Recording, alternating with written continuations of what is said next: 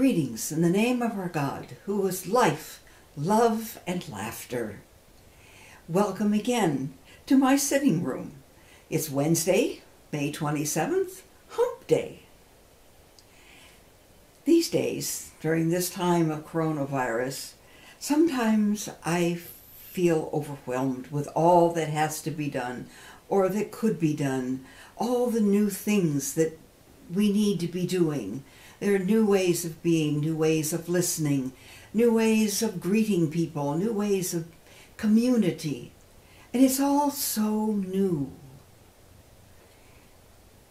I hear that hardware stores are doing a great business nowadays as people take on projects, renovations, repair that they've been putting off. Now, you know that any one of these projects takes at least three trips to the hardware store. There's the first trip for initial materials. And then we make mistakes, and that means another trip to the hardware store for more material and maybe some advice. And sometimes we have to go back for new materials and maybe even a new tool because we've discovered that what we're trying to do has to be done a different way. I'd like to tell you a story about a professor who is no one in particular and everyone in general. There was, there was, and there was not a professor of comparative religions who was particularly interested in Zen Buddhism. Oh, he was very diligent he studied a lot. He read everything. He learned as much as he could to understand Zen Buddhism. Happily, he had an opportunity to go to Japan and visit a real Zen master. Oh, he was so excited, really excited. He was going to have an opportunity to sit down and learn from a Zen master, a real Zen master. The day arrived, and he sat down with the Zen master, and he was eager to let the master know that he was a worthy student, that he had really worked hard and learned and was very diligent in his studies. He talked for a rather long time. The Zen master sat quietly, listening thoughtfully. Then the master gathered together materials for the tea ceremony. Oh my, the professor was so excited. He was overflowing with joy. He had read so much about the tea ceremony, and now he was actually going to be able to participate in one.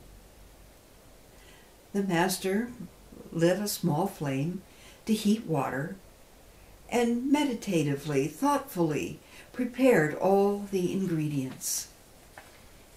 When all was ready, he took a cup and the teapot and began to pour. Expectations rose in the, in the professor as he waited anxiously. And the master poured, and the cup was filled, and the professor expected the master to, ceremoniously of course, hand him a cup of tea. The master poured. The tea rose to the lip of the cup, and still the master poured. Tea began to spill over the edge of the cup and flow down. Still the master poured. Tea began to spill down and onto the floor. Still the master poured. The professor was getting very anxious and agitated. What is he doing? Why does he not stop? Does he not see the tea spilling all over? Finally, the professor could stand it no more. Wait! Stop! he called. The tea! It's spilling all over! The master looked at him thoughtfully and said, You are too full. You are so full of yourself. You are so full of your own knowledge that you cannot learn any more. There is no room for anything new. There is no room for anything that might change or alter your understandings and your learning. Go home. Empty yourself. And then return when you are able to receive. Sometimes I feel like that, so full of my own anxieties, so full of misplaced thoughts of having to learn everything and do everything and know how to do everything just right, right now. Sometimes I feel so full of my own anxieties that it's hard. But we place one foot in front of another, and we learn with every single step. This is a long journey, and perhaps we can use this time of the coronavirus to clean out the attics and closets of our hearts, minds, and emotions. Clear them out of the baggage that we have accumulated over the years.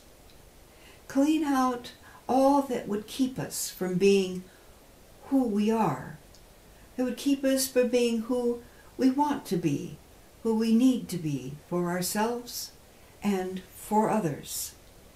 May the blessings and the love of God in Christ Jesus and the power of the Holy Spirit be with you now and always.